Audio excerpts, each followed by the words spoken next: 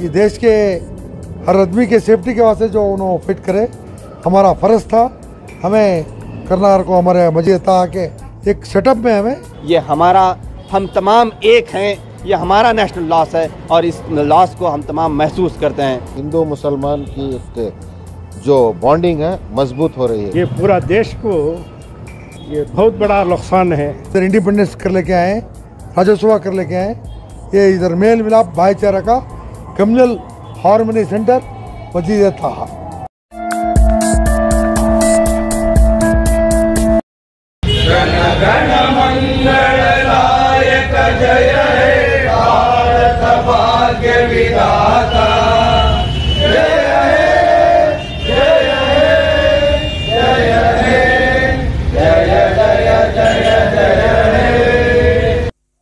हाल ही में आर्मी के अव्वल C D S Bipin Rawat, उनकी अहलिया और दीगर अफराद की एक चौपर क्रैश में मौत वाक़ हुई। इस सानहा को दर्दनाक करार देते हुए शहर के मत्ती केरे की मस्जिद ताहा के अहाते में हादसे में हलाक हुए जवानों की याद में एक मुख्तसर खराज अकीदत का प्रोग्राम मुनद किया गया। इस ताज़ियती इजलास में हिंदू, मुस्लिम व मसीही बरदरी से ताल्लुक़ रखने वाले कई अहम शख्सियात ने शिरकत की और चौपर क्रैश में हलाक होने वालों को खराज अकीदत पेश की। इस मौके पर मस्जिद ताहा के जिम्मेदारान व अखिल कर्नाटक महमदीयर कन्नड़ वेदिके के सदर समीउल्ला खान ने बिपिन रावत की मौत को मुल्क का बड़ा नुकसान करार दिया। हमारा chief of army air force navy Indian army के जो चीफ थे, जो हादिसा जो हुआ, उसमें कंडोनेंस हर देश के, हर आदमी के सेफ्टी के वास्ते जो उन्होंने फिट करे, हमारा फ़र्ज़ था। हमें करनार को हमारे मजीद था कि एक सेटअप में हमें देश के चीफ ऑफ़ आर्मी हैं।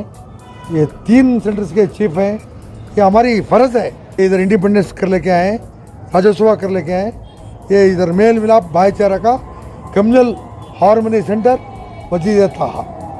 दूसरे लोग भी करना है, एक मैसेज जाना है। मुसलमान भी ये दुख में शामिल है। एक मैसेज जाना है। एक मस्जिद के अहाते में, जहाँ पे एक खराज अकीदत का जो प्रोग्राम हिंदुस्तान की द फ़र्स्ट सीडीएस का जो एक्सीडेंटल मौत हुई, उसके मौके पर जिसको लीड किया एक नॉन मुस्लिम हिंदू ने, फिर उसमें क्रिश्चियन भी शामिल थे, एक मुस्लिम। ये एक बेहतरीन एग्ज़ाम्पल है, एक बेहतरीन मैसेज है, जो सारे हिंदुस्तान में कोने कोने तक जाएगा कि ये हमारा, हम तमाम एक हैं, ये हमारा नेशनल लॉस है, और इस लॉस को हम तमाम महसूस करते हैं। एक ऐसा प्रोग्राम करना ये बेहद सराहनीय बात है और इस इन्होंने मुबारकबाद के काबिल है।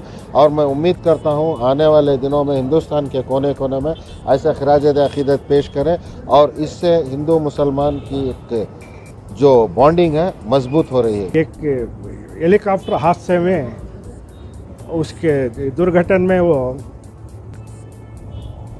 मौत होगी उनकी।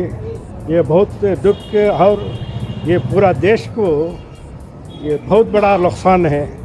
ये भराई करना भी हमारा बहुत दुख का ये है।